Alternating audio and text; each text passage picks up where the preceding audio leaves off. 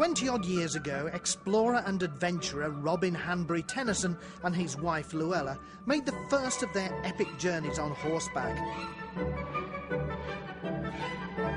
They travelled to the south of France to buy two beautiful Camargue horses.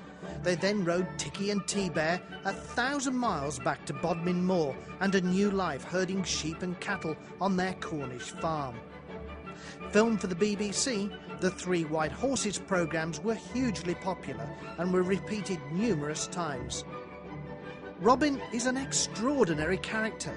He has been named as the greatest explorer of the past 20 years, one of the thousand makers of the 20th century, and recently the doyen of British explorers. Louella is his travelling companion and was recently High Sheriff of Cornwall. Oh boy. 20 years on, and they're planning their next epic journey on horseback. This time through Europe's most mysterious and little known country, Albania, the land of eagles. Though they now have six Camargue horses, these won't be going to Albania. This is T-Bear, original my horse who came across France, now 29 years old. And uh, this is Tiki.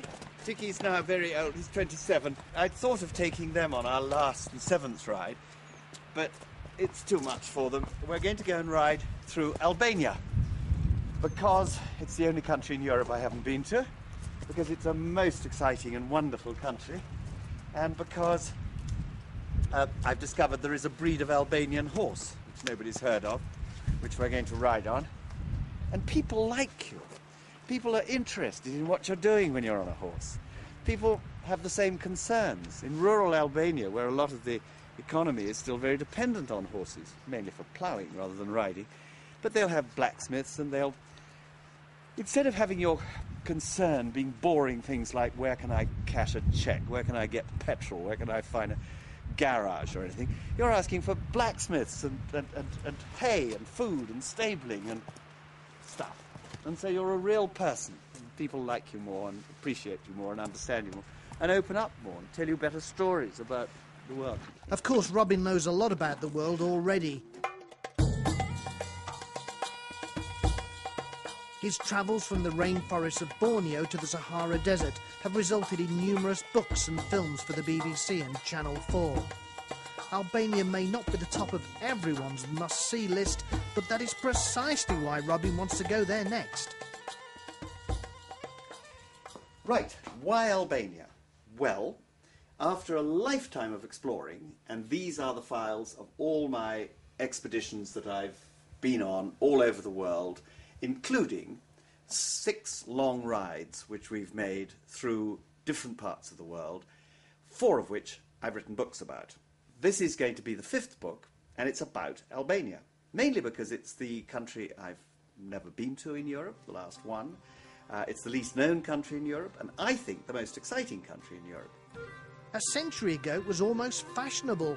Then, for 50 years, communist Albania was closed to the world.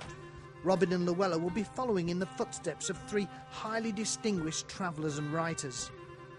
Byron rode up into Albania in 1809 and wrote Childe Harold there. It's all about Albania. It was a bestseller in 1809 because it was so sexy and racy and suggestive about the exotic mysteries of the Orient.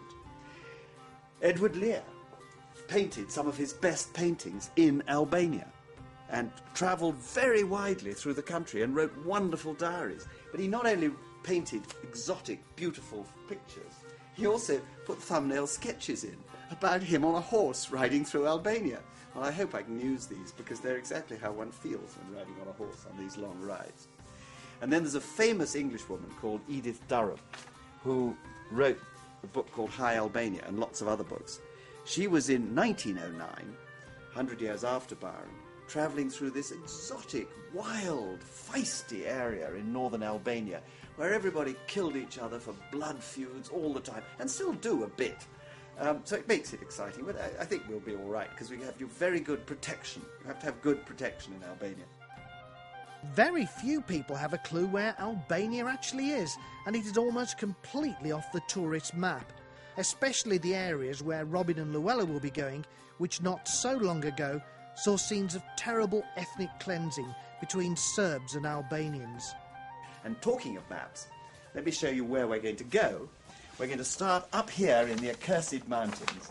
There's a peace park which runs through part of Montenegro, Kosovo, and Albania, northern Albania. All this area is now a transnational peace park. Very high mountains, the most beautiful, exotic, inaccessible mountains in Europe. And they are, everybody who goes there, very few people have been, all say they're the most wonderful place. Paddy Ashdown, of course, our great man on Kosovo, says we've got to go to a certain gorge, which he thinks is incredibly beautiful, and it is. So we're going to ride over several passes from Albania up into Montenegro, across into Kosovo, back into Albania, and then all the way down the unknown part of Albania. But in the interior, it is still the wildest part of Europe. And on the way, we'll go through the country of Edith Durham and Edward Lear and Byron and all the exciting things, ending up right down at the bottom in uh, where Byron came up into Albania from Greece, and we'll retrace his footsteps exactly down into Yanina in Greece, and that's when we'll finish.